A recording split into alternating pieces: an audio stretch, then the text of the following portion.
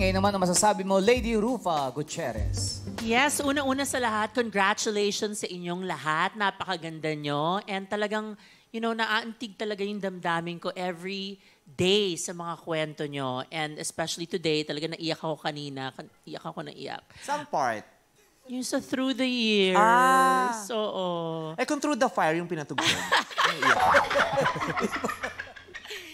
Hindi, kasi they're beautiful both inside and out. You know, lahat sila, pero especially kay 3 and 4, kay, kay number 3 kasi very straight na talagang gusto niyang yumaman, gusto ko maging successful, and at the same time, talagang nakita ko yung pain at yung pagmamahal mo sa nanay mo. Naramdaman ko yon. At kay number four naman, talagang hindi ko napigilan mapaluha kasi I can just imagine losing a husband na minsan kasi sinascotch tape lang natin ang puso natin eh, para lang makalimutan yung sakit. Pero pag tinanggal mo yon, andyan, yung, andyan pa rin yung pain. So it must be very hard for you. So, yun lang. Good luck sa inyong lahat. Naiyak na naman ako Yes. today. Hindi, we we should learn how to deal with pain. Yes. Di ba?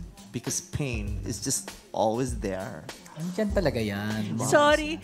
Naku, si Ate Janice, pinagtawan na naman ako. Dahil, Bakit? Sabi ko, may scotch tape yung puso. Sabi niya, sana ginawa mong band-aid. actually, yun na nasa isip ko. Di ba parang ban, binaban-aid yung, binaban-aid yung My wound, God. di ba? Nagmamadali kasi si Rufa kaya scotch tape. The same. Scotch Eh, wala kasing tape band-aid and available eh. Na ganun eh. Pag wala naman yung, Scotch yung tape, band-aid, parang pwede Pag wala, talaga yung stapler scotch yun. tape. Kaya Lagyan mo pala na lang ng nagkaganyan si. Rufa, yung mga sugat niya, bina, ini-scotch tape ng nanay niya. Papel muna, tapos scotch tape. Magtaka ka kung ini-stapler yan ni Tita Ang sakit doon. Thank you, Rupa.